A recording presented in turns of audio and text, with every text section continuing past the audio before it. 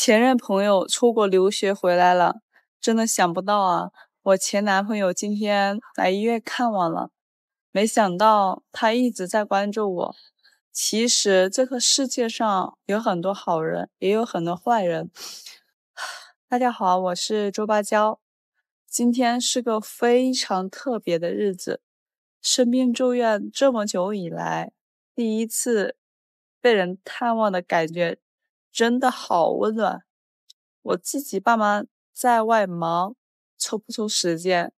我觉得我自己能照顾好自己。我说我就没有必要要我老爸老妈过来了。未来的婆婆说家里农活多，我也说不用来，我能自己把自己照顾好。刘一才的话就是直接联系不上，所以。突然有人今天来医院看我的时候，还是前任朋友。当时我很紧张，也很激动，心脏扑通跳的特别的快。更想不到的，就是还是前男朋友来探望，我做梦都猜不到，真的。在这里，我先澄清一下，我和这位朋友没有任何的关系。也没有任何的联系。今天我了解到的就是他出国留学回来了，没想到吧？我前男友他一直原来在关注我这个抖音。前天我不是在门口门诊门口录了一段视频吗？或许他看到了，然后知道我在哪里，再然后就是直接来住院部问我的名字，找到我的床位。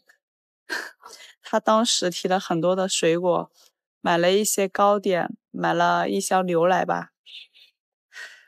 但是，我前任朋友他不是一个人来的，他还带了一个人，大家能猜到是谁吗？他老婆。所以啊，大家不要多想，他结婚了。这次来医院探望我呢，可能或许觉得我很可怜。觉得同情罢了，家人们是不是这种感觉呀？